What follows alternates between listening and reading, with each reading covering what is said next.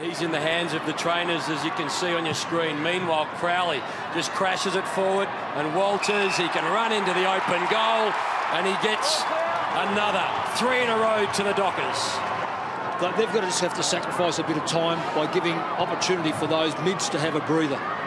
Four goals won from five inside 50s, the Demons, but Walters can get one back for the Dockers, and that didn't take long.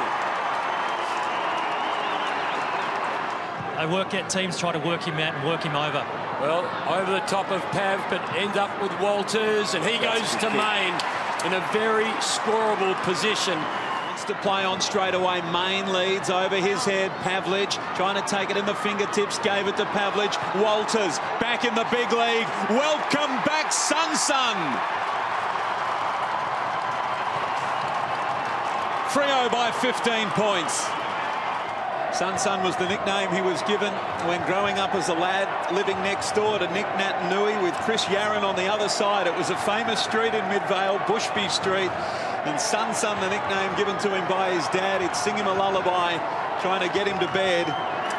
It's a marvellous return to the big league. He's worked so hard at Swan Districts and he's loving every minute of it.